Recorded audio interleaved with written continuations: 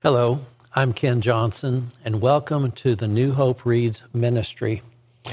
We hope you will visit daily as we read from the chronological Bible. May our time spent together in God's Word be a blessing to us all as God reveals Himself and His nature, as He opens our minds, and as He prepares our hearts for our good and His service. Again, thank you for joining us.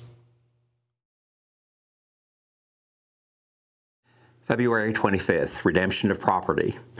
Leviticus 25, 24 through 34, 1445 through 1279 BC. With any purchase of land, you must grant the seller the right to buy it back. If any of your fellow Israelites falls into poverty and is forced to sell some family land, then a close relative should buy it back for him.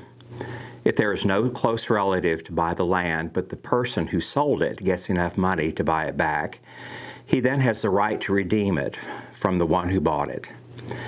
The price of the land will be discounted according to the number of years until the next year of Jubilee. In this way, the original owner can then return, uh, can then return to the land. But if the original owner cannot afford to buy back the land, it will remain with the new owner until the next year of Jubilee. In the Jubilee year, the land must be returned to the original owners so they can return to their family land. Anyone who sells a house inside a walled town has the right to buy it back for a full year after its sale.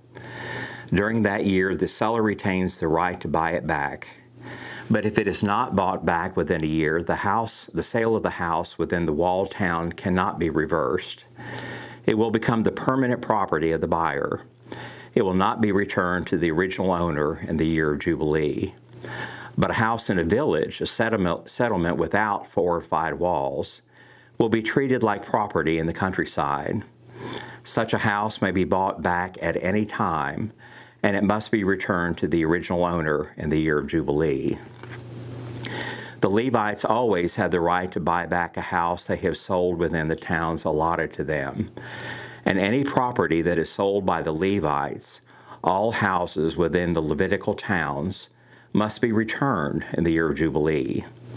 After all, the houses in the towns reserved for the Levites are the only property they own in all Israel. The open pasture land around the Levitical towns may never be sold. It is their permanent possession.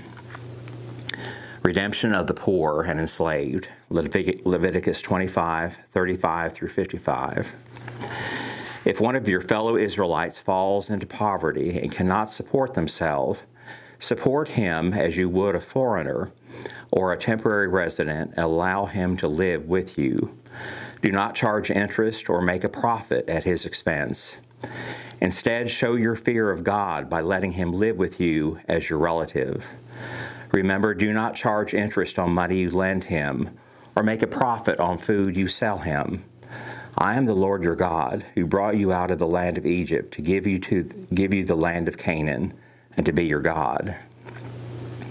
If one of your fellow Israelites falls into poverty and is forced to sell himself to you, do not treat him as a slave. Treat him instead as a hired worker or as a temporary resident who lives with you and he will serve you only until the year of Jubilee. At that time, he and his children will no longer be obligated to you, and they will return to their clans and go back to the land originally allotted to the, their ancestors. The people of Israel are my servants, whom I brought out of Egypt, so they may never be sold as slaves. Show your fear of God by not treating them harshly. However, you may purchase male and female slaves from among the nations around you.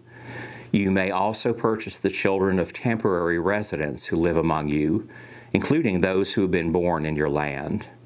You may treat them as your property, passing them on to your children as a permanent inheritance. You may treat them as slaves, but you may never treat your fellow Israelites this way. Suppose a foreigner or temporary resident becomes rich while living among you. If any of your fellow Israelites fall into poverty and are forced to sell themselves to such a foreigner or to a member of his family, they still retain the right to be bought back, even after they have been purchased. They may be bought back by a brother, an uncle, or a cousin. In fact, anyone from the extended family may buy them back.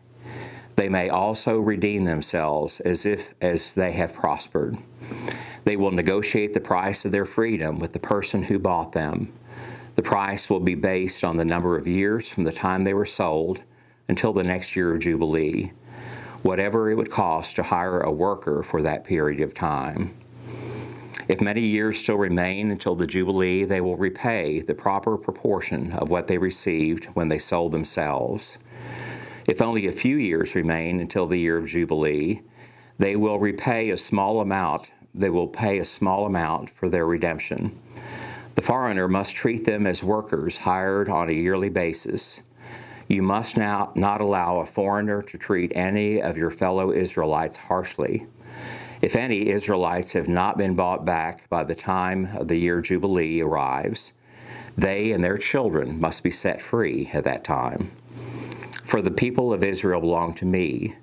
They are my servants, whom I brought out of the land of Egypt. I am the Lord your God. Blessings for obedience. Leviticus 26, 1 through 13. Do not make idols or set up carved images or sacred pillars or sculptured stones in your land so you may worship them. I am the Lord your God. You may keep my Sabbath days of rest and show reverence for my sanctuary. I am the Lord. If you follow my decrees and are careful to obey my commands, I will send you the seasonal rains. The land will then reach, yield its crops, and the trees of the field will produce their fruit. Your threshing season will overlap with the grape harvest, and your grape harvest will overlap with the season for planting grain. You will eat your fill and live securely in your own land. I will give you peace in the land, and you will be able to sleep with no cause for fear. I will rid the land of wild animals and keep your enemies out of your land. In fact, you will chase down your enemies and slaughter them with your swords. Five of you will chase a hundred, and a hundred of you will chase ten thousand. All your enemies will fall beneath your sword. I will look favorably upon you, making you fertile and multiplying your people, and I will fulfill my covenant with you you will have such a surplus of grains that you will need to clear out the old grain to make room for the new harvest. I will live among you, and I will not despise you. I will walk among you. I will be your God, and you will be my people. I am the Lord your God, who brought you out of the land of Egypt so you would no longer be their slaves. I broke the yoke of slavery from your neck so you can walk with your heads held high. Punishments for disobedience, Leviticus 26, 14 through 46. However, if you do not listen to me or obey all these commands, and if you break my covenant by rejecting my decrees, treating my regulations with contempt, and refusing to obey my commands, I will punish you. I will bring suddenly sudden terrors upon you, wasting diseases and burning fevers that will cause your eyes to fail and, and your life to ebb away. You will plant your crops in vain because your enemies will eat them. I will turn against you, and you will be defeated by your enemies. Those who hate you will rule over you, and you will run even when no one is chasing you. And if, in spite of all this, you still disobey me, I will punish you seven times over for your sins. I will break your proud spirit by making the skies as unyielding as iron and the earth as hard as bronze.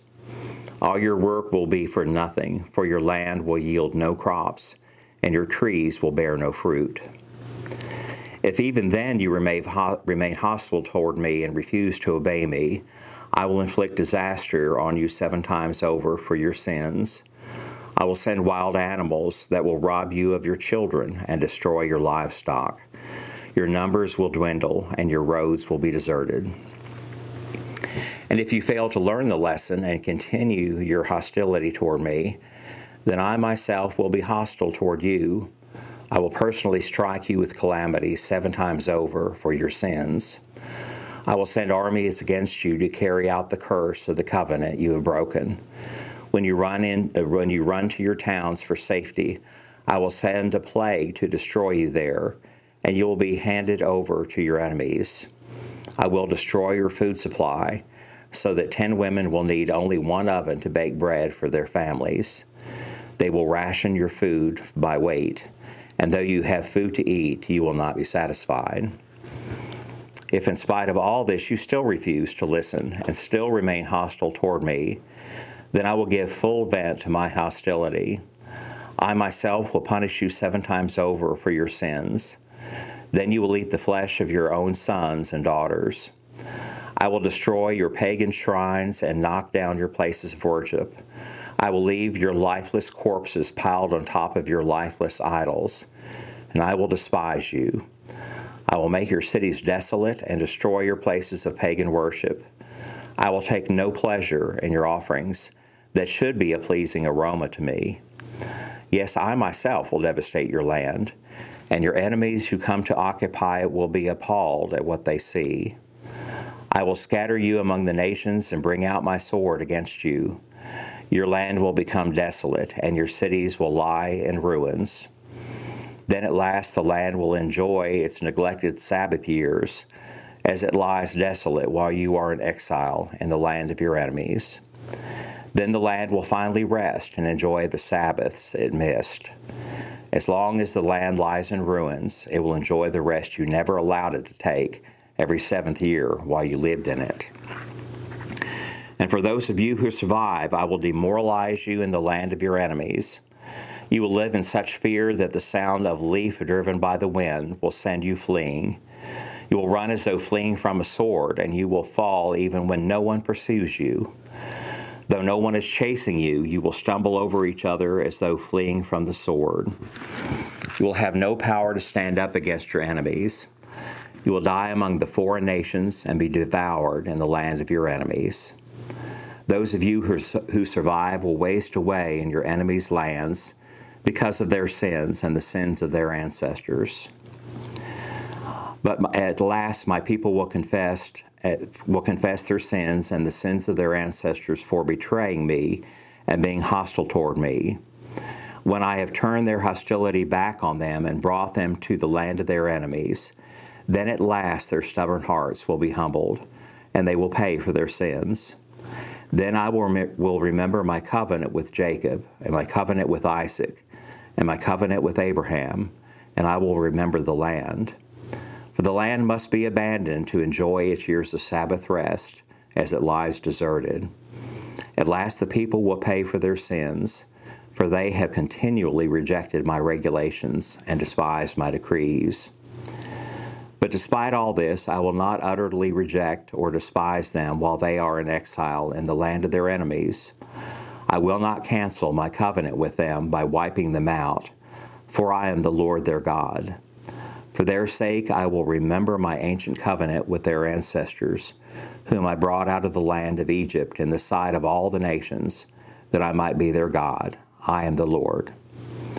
These are the decrees, regulations, and instructions that the Lord gave through Moses on Mount Sinai as evidence of the relationship between himself and the Israelites. Hi there, and welcome to New Hope Reads. I'm Mark Ruff, and we are delighted that you've joined us to share in the reading of God's Word. It's very important that we share this together and be in God's Word daily. And by the way, we'd like to invite you to join us here at New Hope Church of Christ anytime you get a chance. Sunday mornings we have classes at 9:30, we have worship at 10:30, and you can join us live or online. Have a blessed day.